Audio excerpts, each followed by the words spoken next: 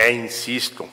no podemos nosotros estar trabajando bajo presiones en donde entonces le estaríamos quitando autoridad y quitándole responsabilidad a quien hace su ejercicio en base a derecho, como es Fiscalía, como es en su momento la misma Policía Estatal. Y bueno, pues todo este tipo de acciones son temas fuertes en donde hemos sido prudentes, donde esperamos que esté siempre presente la Comisión Estatal de Derechos Humanos, la nacional, para que en su momento, si es requerido, se tenga que actuar. Así es que hacemos un llamado a la ciudadanía a la prudencia, al compromiso, a la responsabilidad, y a que en su momento las autoridades competentes también presenten las denuncias pertinentes contra quien corresponda, porque está penalizado el estar cerrando vías